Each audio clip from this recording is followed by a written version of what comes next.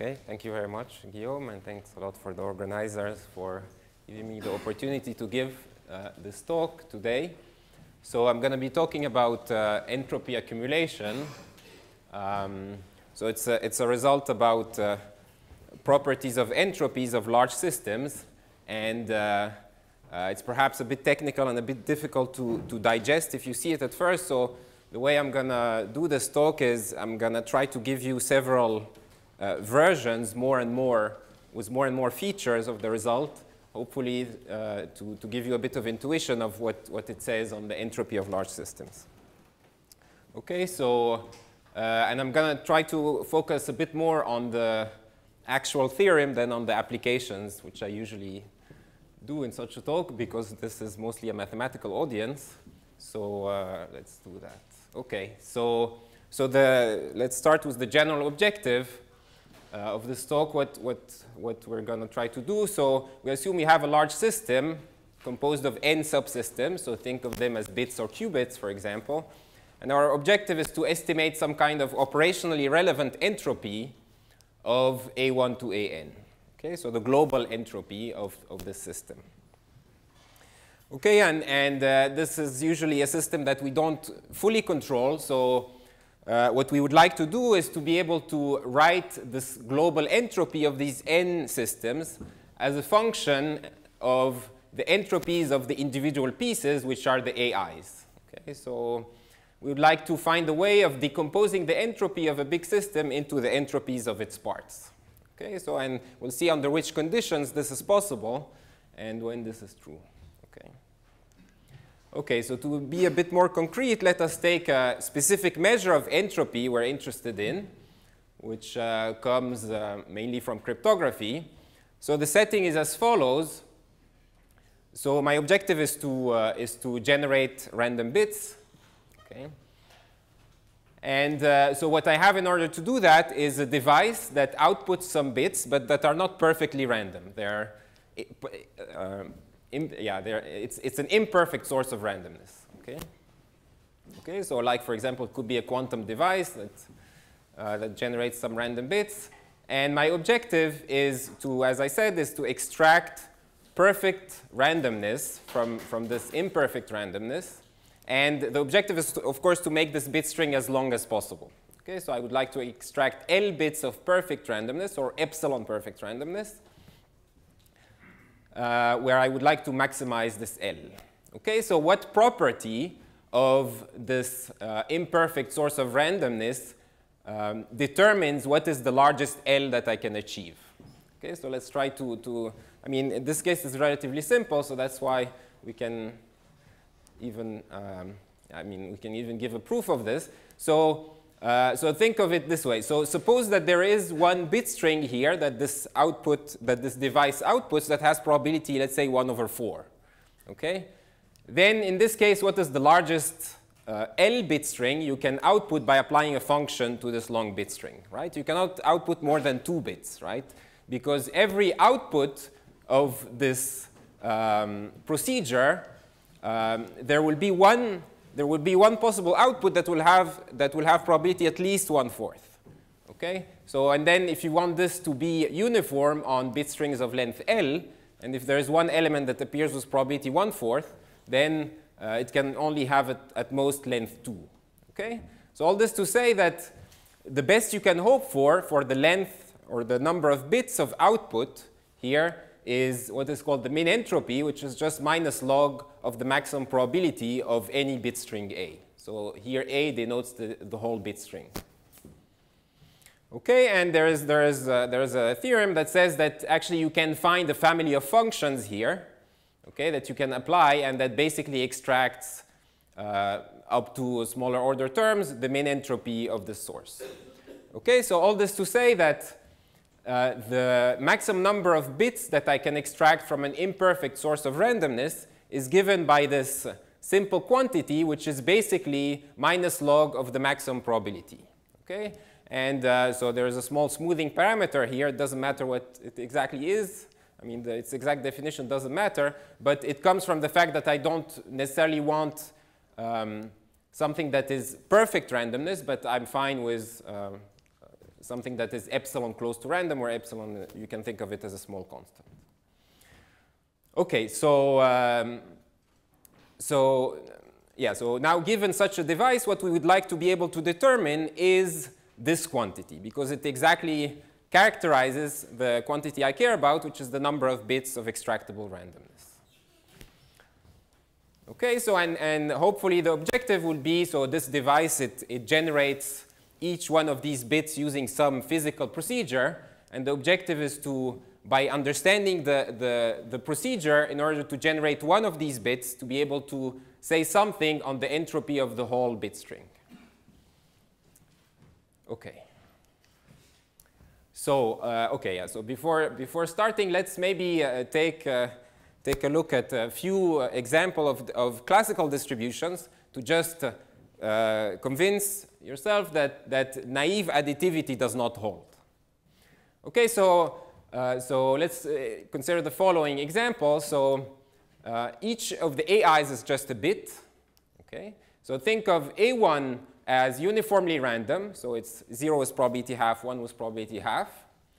Okay, and then the rest is, uh, is, is, is taken as follows. So if A1 is 0, then the rest is completely deterministic. Okay, so it's all zeros. And otherwise, if A1 is equal to 1, then the rest is fresh and random. Okay, completely uh, random bits, A2 to AN. Okay, so you see here that uh, the number of, I mean, or, or this min entropy of the bit string A1 to AN is just minus log of a half because the bit string all zeros of length n appears with probability exactly a half. Okay, so the min entropy is exactly 1, which is, which is quite small. Right? Ideally, we want this min entropy to be linear in n. Okay, and you, so you see here that um, okay, so what if I look at individual systems? So let's, what if I look at a particular bit AI? Okay, what can I say on its min entropy? Okay, so you see that AI has a simple distribution. It's just uh, with probability 3 quarters, it's 0, and with probability 1 quarter, it's 1. And so it has a finite min entropy, namely log 4 over 3. So the sum of the min entropies is given by something linear in n, so n times some positive constant. Okay, so you see that the min entropy of the whole can be much smaller than the sum of the individual entropies in general. Okay, and yeah, so one uh, other thing I wanted to mention here is that you see that this distribution is, is also an example where the min entropy and the Shannon entropy, might be more familiar with, uh, are very different. So you see the Shannon entropy here is linear in n, whereas the min entropy is, is a constant, is 1. Okay. Okay, so we saw that this naive additivity doesn't hold. We cannot just sum the individual min entropies, and this would give us a result. Okay, but, but the main, the statement uh, the, of the main theorem I'll be, I'll be stating is the following, is that, is that now if you, instead of computing the contribution of each part by just picking the min entropy of the marginal, but we'll pick it a bit differently, right, with some function f that only depends on, on, on the AI part, okay, then this will hold. Okay, I still didn't define what the contribution is, but this will be the objective of the talk. Okay, that there will be some way of computing the contribution of each part that will give that will be such that this formula is true. Okay, so in order to do that, I need to define a general model that um, that generates the, the systems A1 to AN. Okay, how, how A1 to AN is generated. So of course I have freedom in, in choosing this, um, and, but this will usually come up from the physical way that A1 to AN was generated. So if you're analyzing a protocol, for example, this will, uh, these MIs will model the devices that, that gives you this outputs in the protocol. Okay, but let, let me say what it is. So, so think of the, these SIs as some, uh, some kind of the, the internal memory of the, of the procedure, of the device, for example. So this is a device that evolves through, through time. It has some internal state, okay, which starts in S0. And at each time step, it outputs uh, the bit AI, and it also um, the state evolves, okay, from S0 to S1. Okay, so note that there is always such, it's always, for any joint distribution I take on A1, AN, there's always such a map that I can define. So for example, one, one of them would be just to say that M1 has no input, and it outputs some system which has the distribution given by the marginal of A1. Okay? And the memory now is exactly the value of, of this A1. And uh, M2, what it does is it outputs uh, a sample from A2 conditioned on A1, and its uh, current state becomes the pair A1, A2, etc. And then A3 is generated conditioned on A1, A2, etc. Okay, so given a distribution, there's always such a model that generates this distribution exactly. Okay, so let's see what I want to see next. Yeah, so let's uh, maybe to get used to this uh, um, to this uh, model, let's uh, see some examples. So uh, remember the distribution we looked at, this uh, distribution which for which the min entropy and the von Neumann entropy are, or just Shannon entropy are different. Um, uh, it, it, behaves as follows. So A1 uh, is uniformly random. This is just to recall what the distribution was. A1 was uniformly random, and A2 to AN is either all zeros or random. Okay, so in this case, it's easy to model. So M1 takes no input. It, it generates a random number, okay, 0, 1, and it sets S1, so the internal state, to R, and it outputs A1, which is also equal to this R. Okay, and then uh, now the, the further steps are slightly different. So the state at step i is equal to the state at step i minus 1.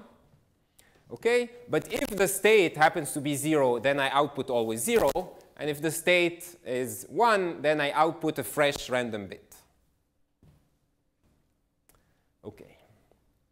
Okay, so this is one example, and you see it generates exactly the A1, AN as uh, de defined. Okay, so another important special case is when A1 to AN are IID.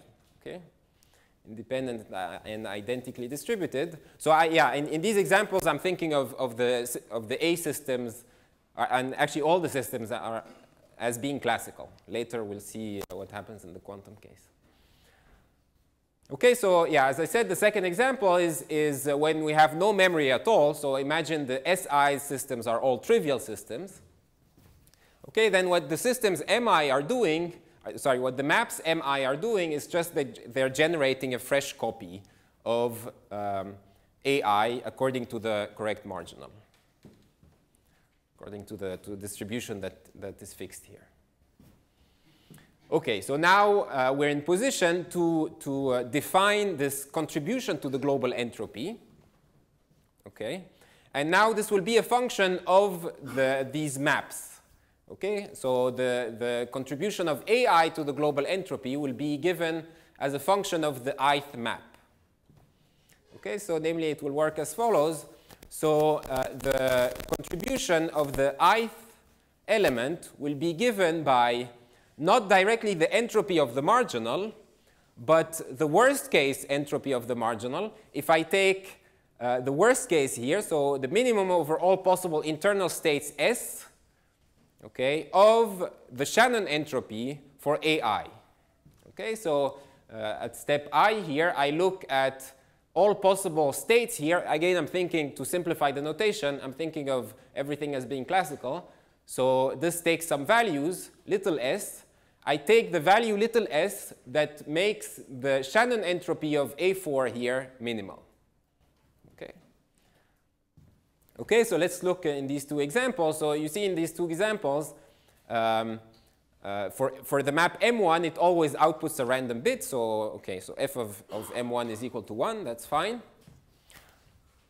Okay, but you see for the other maps, right, if I pick the state, the internal state being um, equal to 1, then the output is deterministic, right? The output, where is this? So the output is deterministic here. So AI is equal to 0. So the entropy is 0 as well.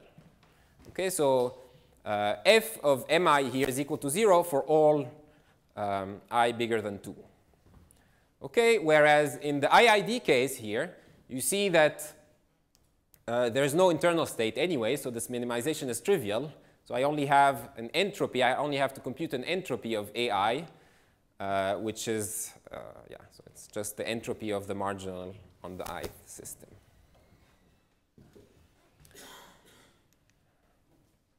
Okay, so uh, now I think that the model uh, that I described the model, uh, we can, I can set the first version of the theorem, which is the classical version. Everything is classical, and there's nothing, we're conditioning on nothing here yet.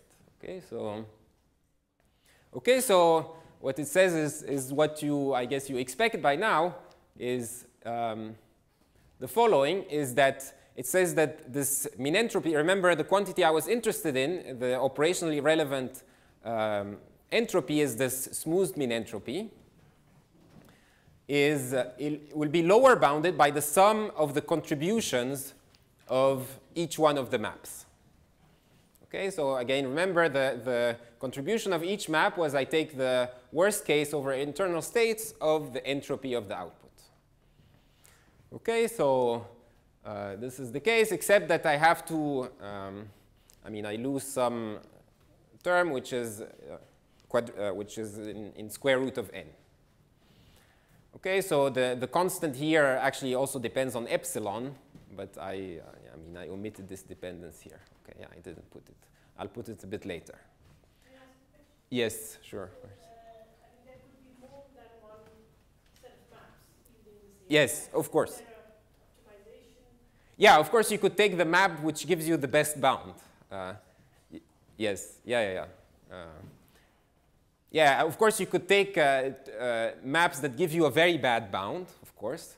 Uh, for example, even in the IID case, you could say that the map uh, stores, for example, the, yeah, I mean, you, of course, you could take very, very but, but as I said, usually in, in, at least in the applications to cryptography, there is a natural choice for these maps, which is the physical implementation, the way, it, the, way the AIs are generated. But yeah, that's a good point.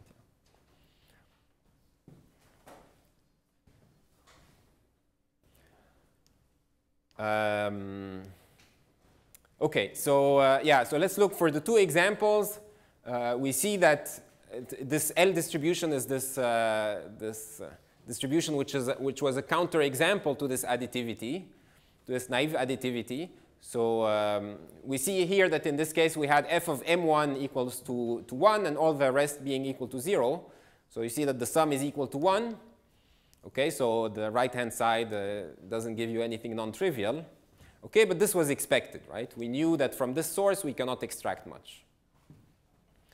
Okay, so the second example uh, is, uh, remember the IID case,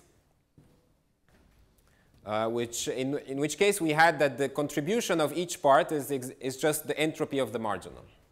Okay, in this case we get exactly this statement that if AIs are IID, then uh, the min entropy, the smooth min entropy, is well approximated by um, the sum of the Shannon or von Neumann entropies up to this square root term. Okay, and this is what is known uh, under the name usually asymptotic equipartition theorem. Maybe usually it's not formulated exactly in this way, but it's, uh, it's, uh, it's formulated in, the, in, in a way that says that there exists a, a typical set on which the probabilities are all upper bounded by 2 to the minus the sum of these entropies, but this is the same. Okay. Um, Okay, so again, I said I, I wouldn't talk too much about applications, but maybe uh, I will uh, say uh, a bit vaguely how, how this is applied in general to, to cryptography. Okay, so let's uh, go back to our randomness extraction example. So remember, I have this uh, uh, imperfect randomness source, and I would like to estimate how much randomness there is.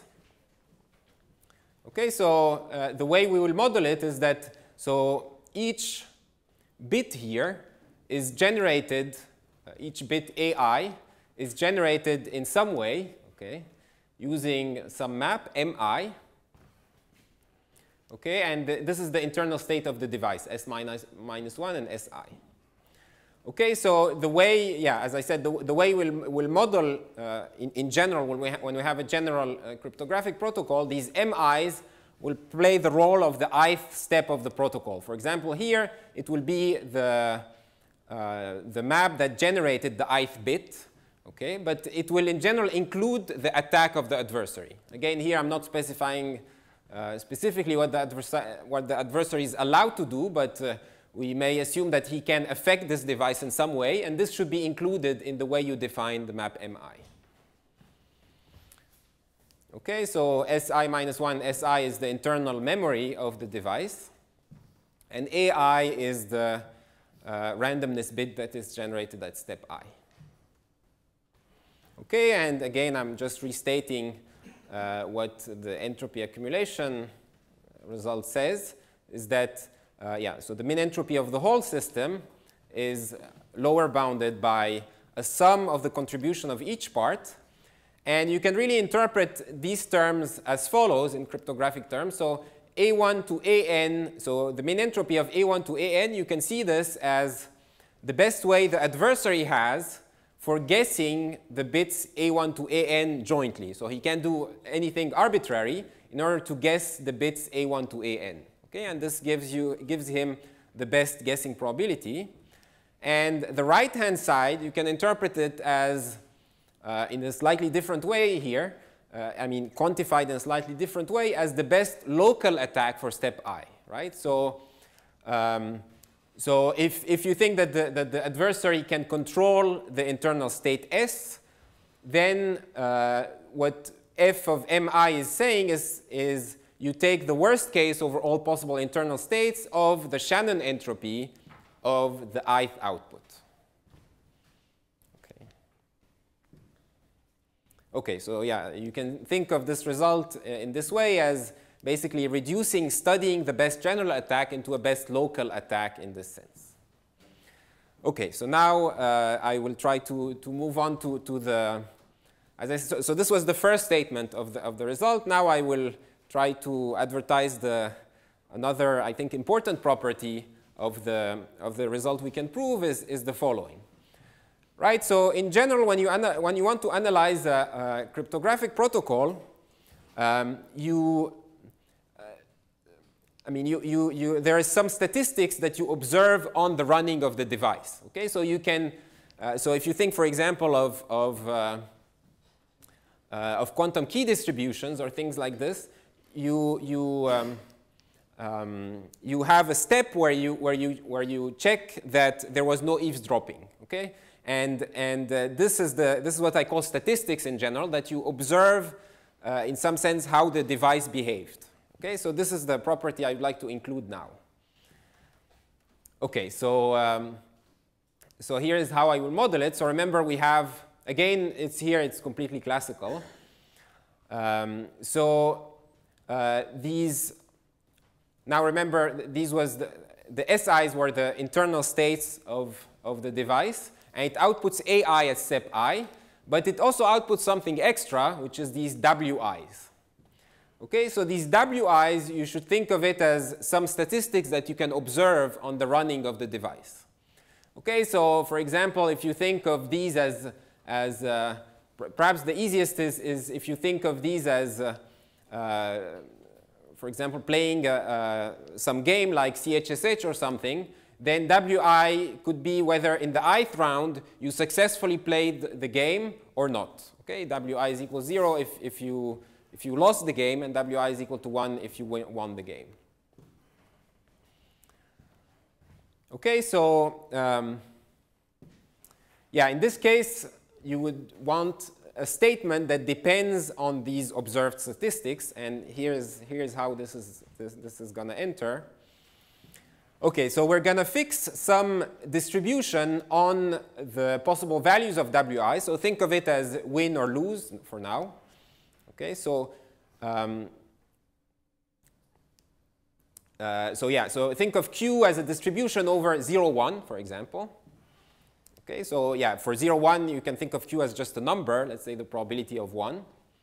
Okay, and in this case, the statement we'll be able to make is not on uh, just the min entropy of A1n, but it will be on the min entropy of A1n conditioned on seeing an empirical distribution for W1 to n equal to Q.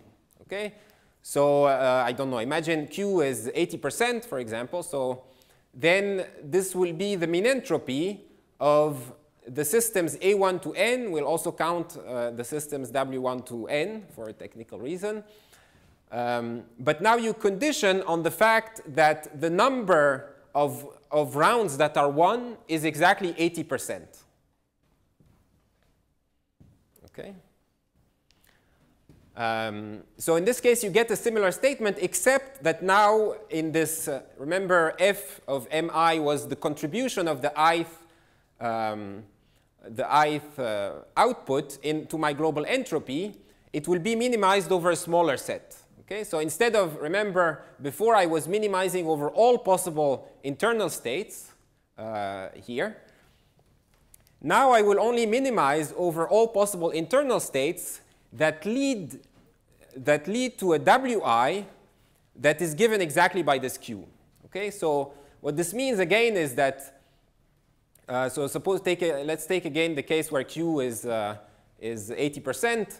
So uh, wh what I'm saying is that instead of optimizing over, instead of minimizing over the entropy uh, of the output of this box over all possible uh, internal states here, then I will only take, uh, I will only minimize over the, the internal states such that the distribution of the, uh, of the, of the W is exactly 80% winning and, and uh, the rest of losing.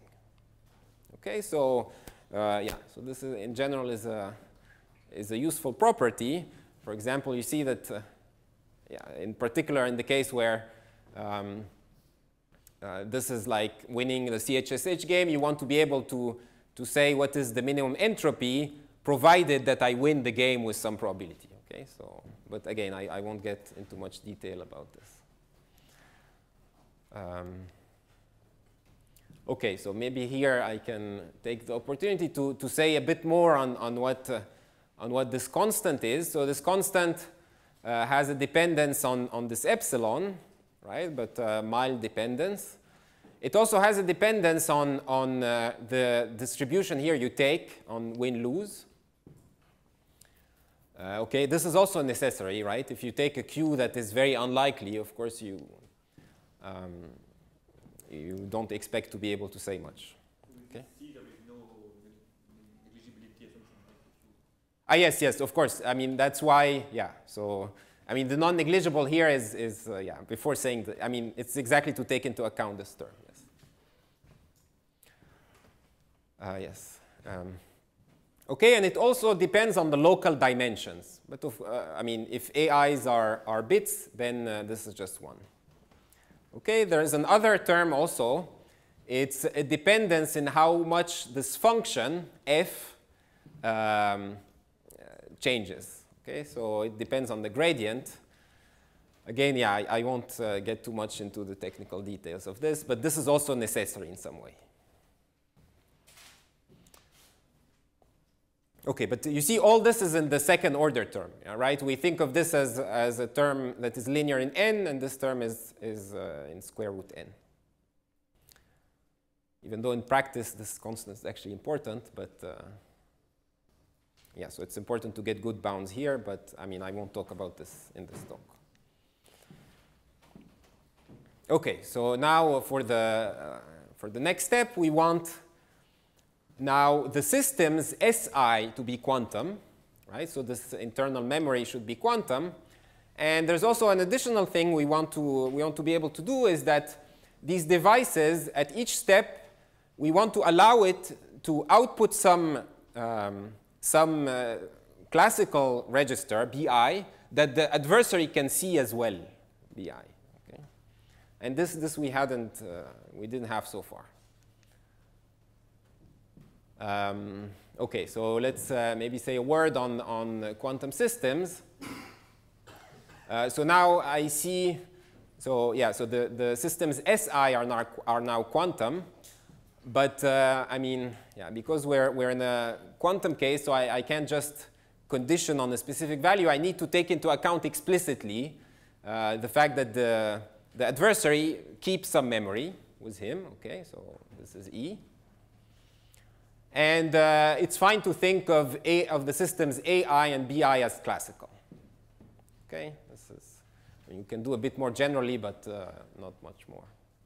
Okay, and remember the WI is the statistics I observe, and we will assume that it's a deterministic function of AI and, and BI. Okay, so given AI and BI, I can determine whether I won or lost. Okay, so I mean, if, you if you're thinking of, uh, of uh, playing CHSH sequentially, then think of BIs as the inputs and the AIs as the outputs of the game. Okay. Yeah, actually, you can think, I mean, in, in, uh, in the talk right before this one, uh, I mean, we also had a um, uh, specific, um, I mean, a setting of this form, right? Remember, we had the system, which was, I mean, the equivalent of the system is, is these S's, and there was a map that was applied, and you get an outcome at each step. This is the result of the measurement, A1 to A2 to AN, right? But so the point of view, I think, was slightly different in that what, what uh, you wanted is, is uh, uh, to, to say limiting properties on this AN. Whereas here, what we would want is to say some, and also on the, on the, on the actual state, right? So the, the marginal on Sn. Here, our objective is more to study the, how entropy accumulates across A1 to AN, okay? Uh, but it's probably related. I don't understand exactly the, the connections, but yeah think it's uh, interesting. Okay, so yeah, so this is the quantum setting. Again, uh, the min entropy is defined, you can think of it as defined as uh, minus log of the guessing probability. So if I have B1, if I have access to B1n and E, then what is the best probability of correctly guessing A1n? Okay. And this uh, still in the same way, it quantifies the amount of extractable randomness with respect to uh, the system. Okay, so now I can state uh, the result for the quantum case. It again has a similar form. Okay, so now this is the way I generate the, um, the bits A1 or, or the systems A1 to AN. I've generated it in this way. And um, yeah, so, so here's the statement. So now I look at the min entropy of A1n conditioned on B1n and E. So remember these BIs, they, they should model something that the adversary has access to. right? So again, I, we incorporate here the, the observed statistic part. So I can condition on the frequency of winning, for example, on the number of, of times I won equals to a specific q. And this is again lower bounded by some linear term, so n times, uh, I'm not sure why I, I, I, put, okay, fine. So this is lower bounded by n times the minimum over i of the contribution of the, of the ith map. I mean, this could be a sum as well. I don't remember why I, I removed this, maybe to, to emphasize that something linear in n here. Um, okay, and, and uh, this, uh, this function here, f, is defined again in a similar way, but now where, we are, where, where we're allowing quantum systems, right? So remember the function f was taking the worst case over all possible internal states. Okay, so now I do the same, right? But I, same thing, so I cannot condition on a specific value of, of s, so, so I have to take uh, the minimum over all possible joint states on Si minus 1 and E. Okay. Again, we have this observed statistic part. So, but I, I can only I, I, I may optimize only over the the input such that the output when I look at Wi is exactly equal to Q. Okay, so uh, think of it as the winning probability being exactly equal to Q.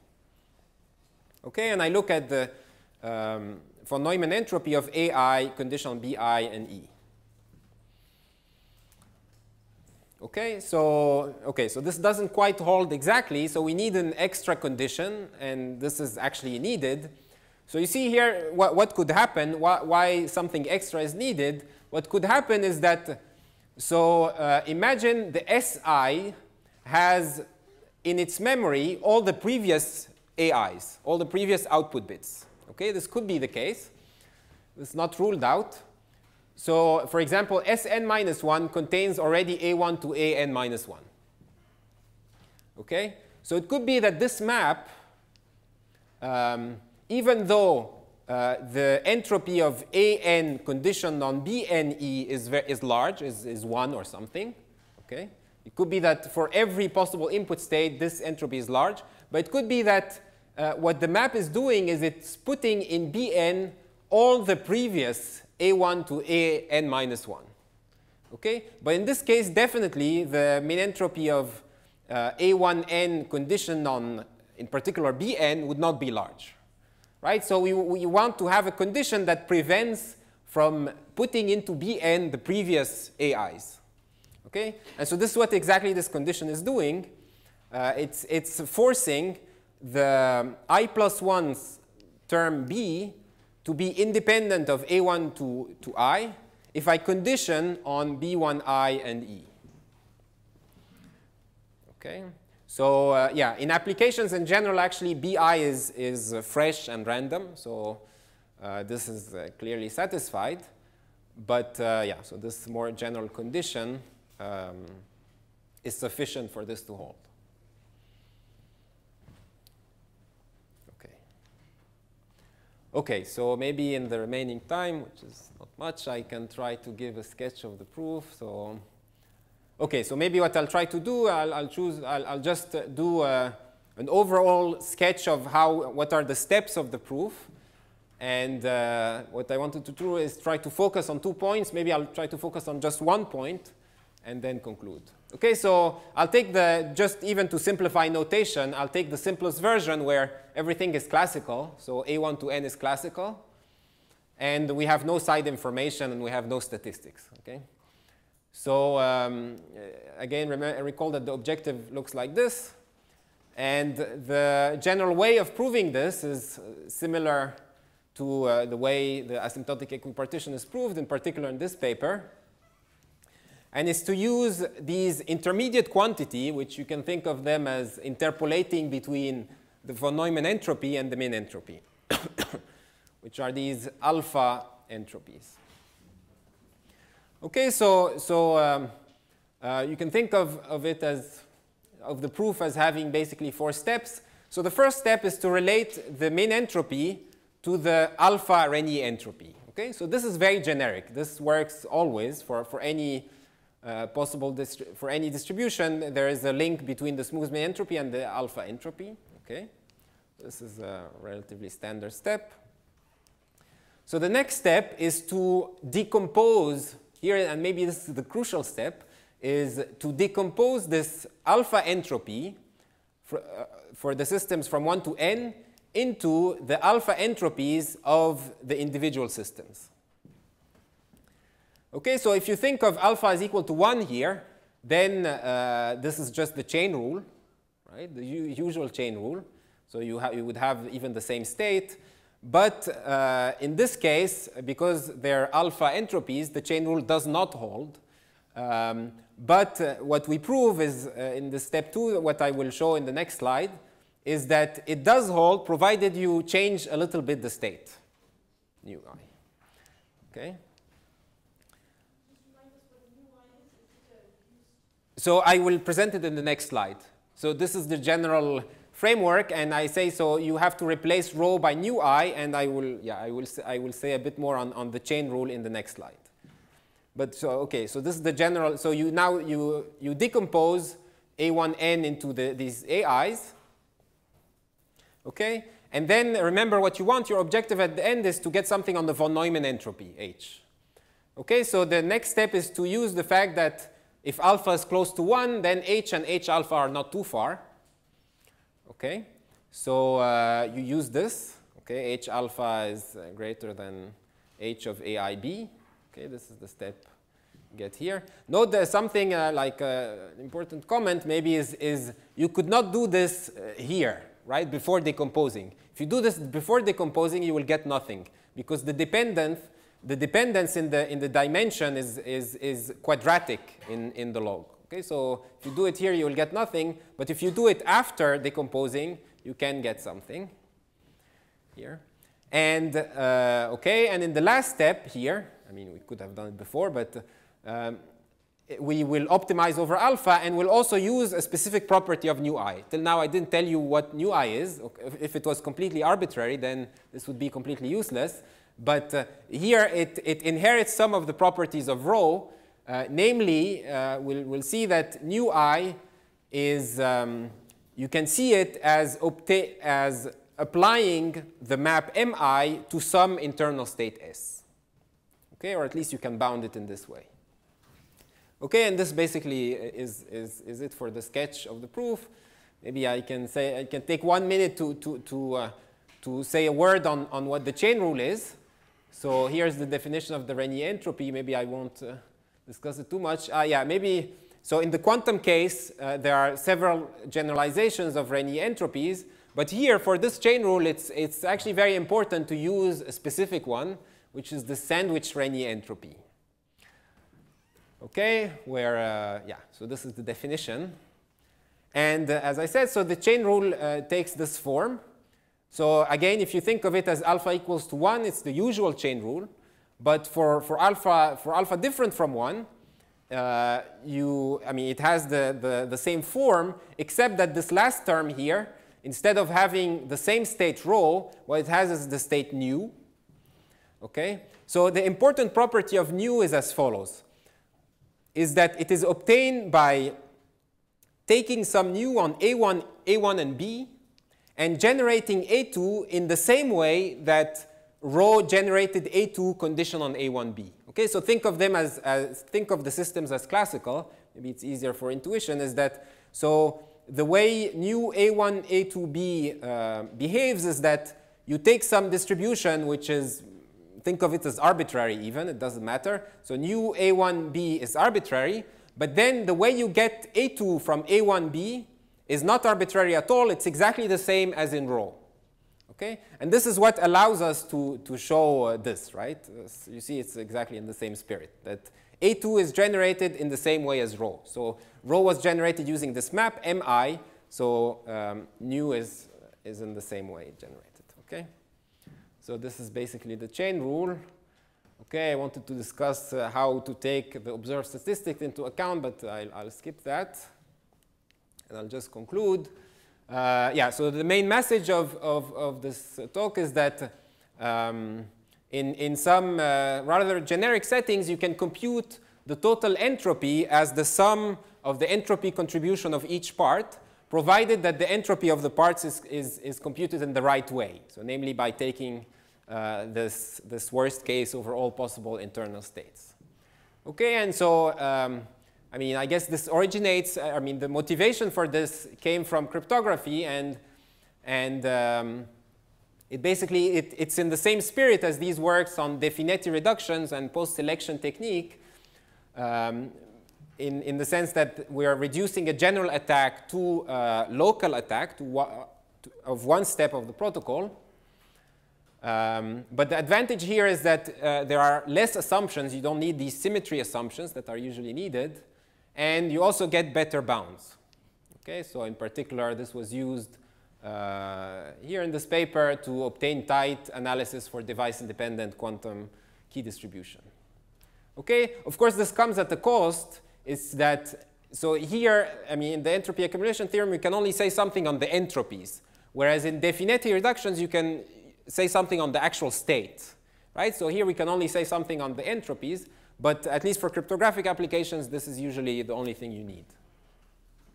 Okay, I can mention that there is a, there is a corresponding upper bound for the, think of it as the best case entropy if you want, the max entropy, uh, where you, you, ha you have to just change uh, the inequalities. Okay, and in general, I wanted to say that, uh, I mean, this is, you can think of it as a general framework that if you have a chain rule uh, similar to, to this one, but perhaps slightly different, uh, where instead of this uh, nu, you, you have some other properties, then you, you would get an entropy accumulation result. Okay, so for example, one, one uh, um, perhaps I can mention one open problem, which would be to show uh, a result of this form for uh, relative entropy quantities. So you imagine that you have now two distributions. They're evolving using two different uh, maps. Okay? Can you say a statement of, of, the, of the same form by saying that the relative entropy between the two uh, distributions on A1, AN is given by, is lower bounded by the sum of the worst case relative entropy at each step. Okay? Okay, and I'll stop here. Sorry for taking over time.